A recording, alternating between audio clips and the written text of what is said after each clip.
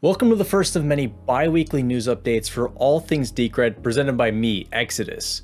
This program was approved by stakeholders in the video content production for Decred proposal on Politeia, which recently passed with 92.5% of voters voting yes. So let's get right into it. First up, a video I put together about the Decred Dex featuring developer Marco Peereboom that really shows the ethos of Decred's development and wanting to build things that are fair and not about value extraction. This little snippet took place at the Texas Bitcoin Conference in 2018 there is a difference between developers and uh, business guys. We don't look at the world the way you do. We don't look at it from a purely uh, value extraction perspective. Part of this, the, why we're doing this DEX, is because we can. Right? We are just going to do this to blow up the exchanges as they exist today because we don't like the way it works. The DEX is expected to launch sometime in mid 2020, so be on the lookout for that. The Street, co-founded by Jim Cramer, released an article about how Decred is gaining traction in Africa thanks to its focus on a fair and inclusive governance structure. The unique governance aspects of Decred seem to be compelling within African and South American countries, with many of Decred's strongest contributors hailing from these regions. February 8th was the celebration of Decred's fourth birthday. Meetups were organized all over the world by community organizers.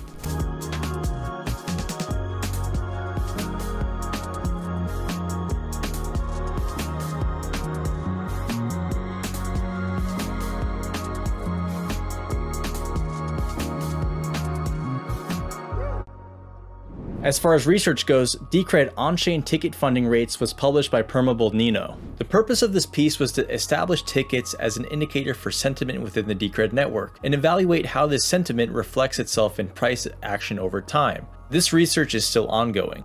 Another research article titled Decred the Resilient Stronghold was published by Checkmate.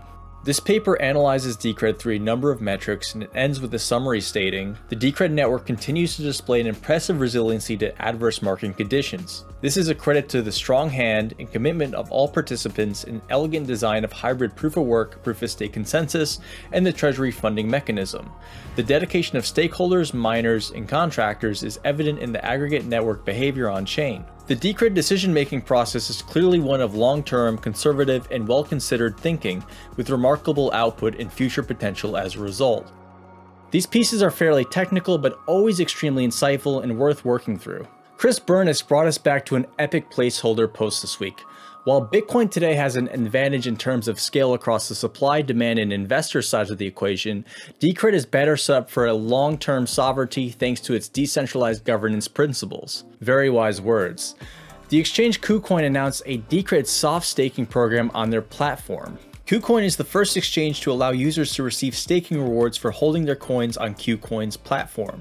Hopefully more prominent exchanges will take notice of this and add their own staking features for DCR, though it should be noted not your keys, not your coins. It's not recommended you store your Decred on a centralized exchange. Steve Good added DCR as a payment option for his book, Be Left Behind, Discover Bitcoin and Cryptocurrency Before Your Grandma Beats You to It. Steve mentioned he's going to dig into Decred next. Two Decred in Depth podcast episodes were released, the first one featuring Decred researcher Ammar Nasir talking about Decred as an infrastructure provider, productive asset, and economic breakthrough. The thing that I really like about Decred is rather than the traditional approach for cryptocurrencies, which is, you know, it's I call it the the hodl and hope strategy, which is you hot you and hope that you know the rest of the world burns down. Decred is actually looking at building a better house and saying, you know, we're going to build a network and we're going to use DCR as a currency from inside the network. We're going to pay our contractors in this particular currency. We're going to try to create all economic value and we're going to all types of economic coordination based around this currency.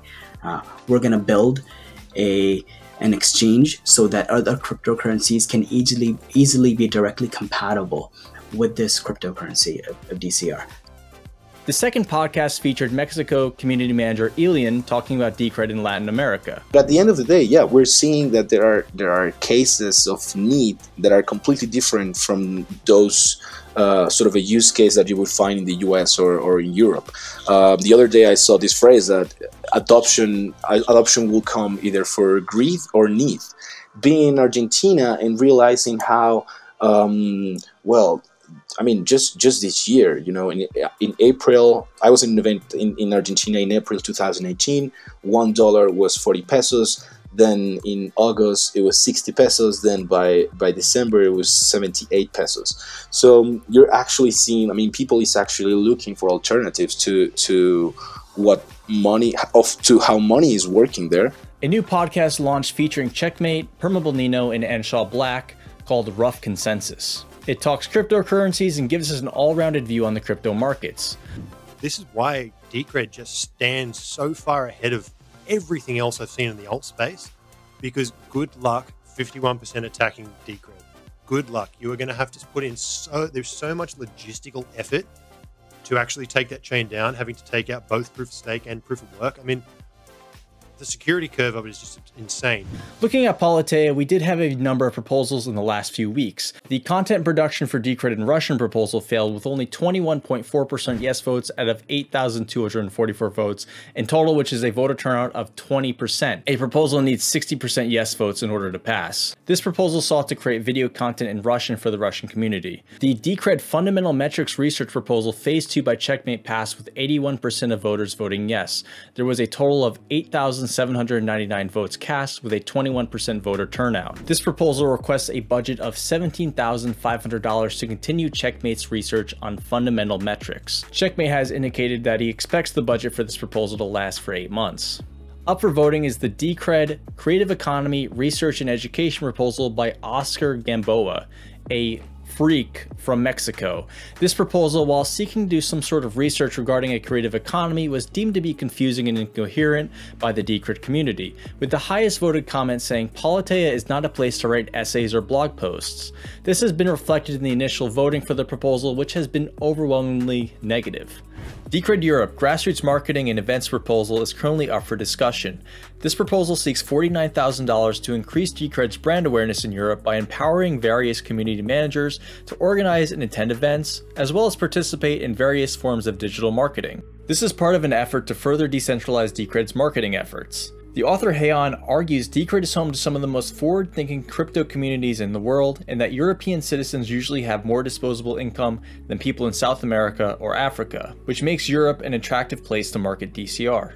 Cathie Wood of ARK Invest said the following on January 28th at the State of Digital Assets keynote. If we're right that there will only be a few cryptocurrencies, you'll find uh, Bitcoin dominating, um, and in terms of who the others are going to be, you know, we're, we're studying that. Yassine's studying it a lot more than I am, but uh, he can, and he can talk to you a lot more about this, but Decred is promising, so you know, we're, we're looking carefully at that. To hear an investor say there will only be a few cryptocurrencies and that Decred looks promising to be among those few is very exciting news.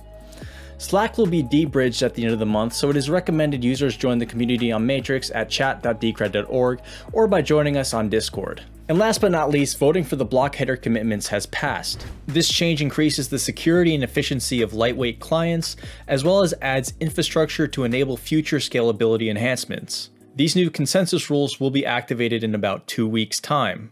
This is just another example of decentralized governance where stakeholders are able to make changes in a clear, fair, and timely manner. I hope everyone enjoyed this first bi-weekly news update. Make sure to subscribe for future episodes and comment what was your favorite piece of news.